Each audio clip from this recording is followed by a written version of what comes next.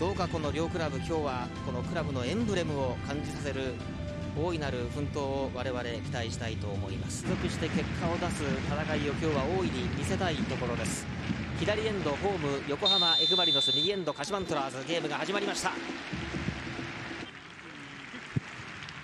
外側エベラウドを狙った。と枠に来ていた。右足で狙いましたが高岡触れずエベラウド際どい形になりました鹿島。エ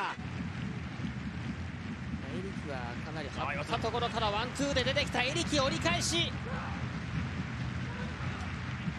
後ろで小池もサポートしてジュニオールサントス。この辺はまだ睨み合いです。これで少し間を取った小池。タッチラインにエリキ。ワンツーで小池。えぐって小池。折り返え水沼がいた！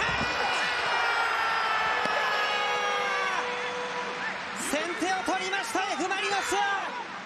エリキと小池で左を突破。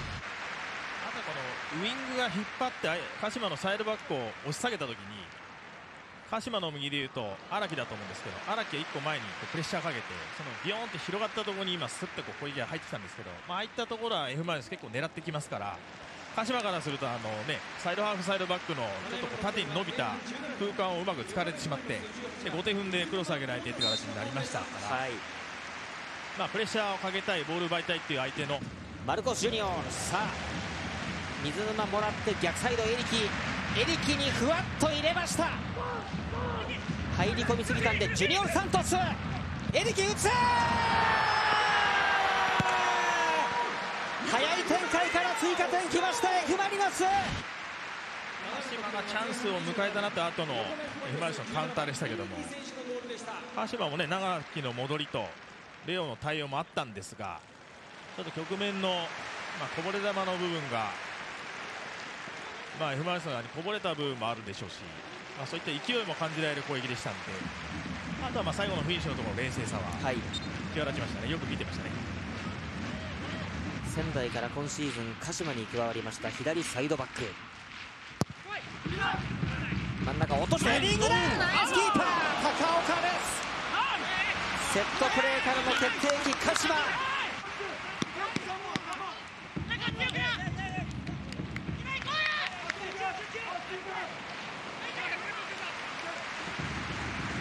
コーナーキック池は中入ってます。横。マルコス・ジュニオールペナルティーアークから左足を振ってきました。マルコス・ジュニオールマルコスが流れてきて、はいはい、1回ボール引き取ってから左に展開して。肩です。シンプルにチャンスナイストラップ。狙った。これは素晴らしい。抜けてきたのは上田綺世鋭いボールに反応しました。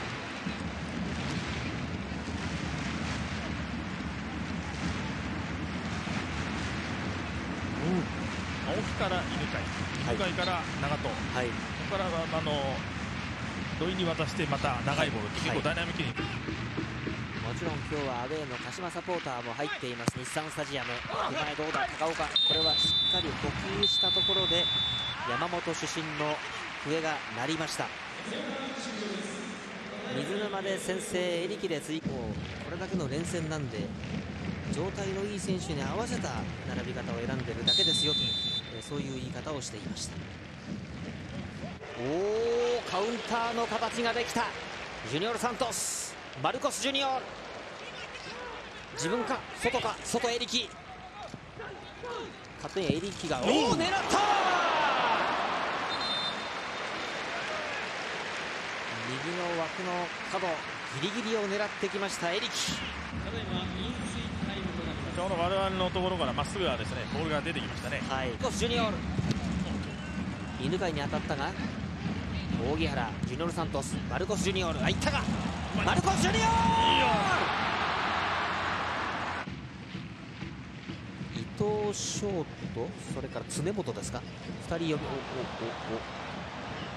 お。エベラード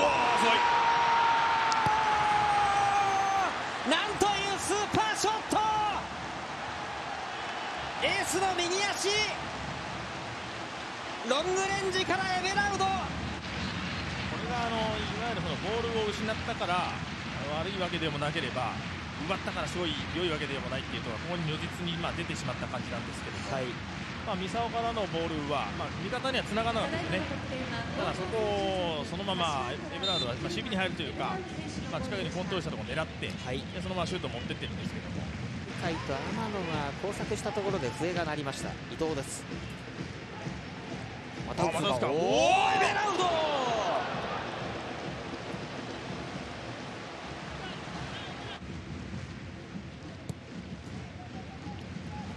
さあ互いにゴールに向かう切り替わりが激しくなります。左足遠藤うまい！逆転しました鹿島84分。右からのクロスを叩いたのは遠藤康の左足。ま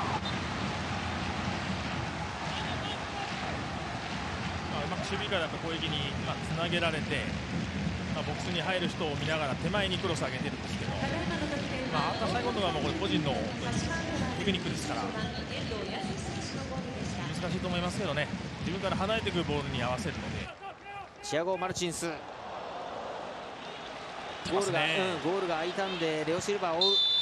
高岡が蹴ってここで試合終了の笛が鳴りました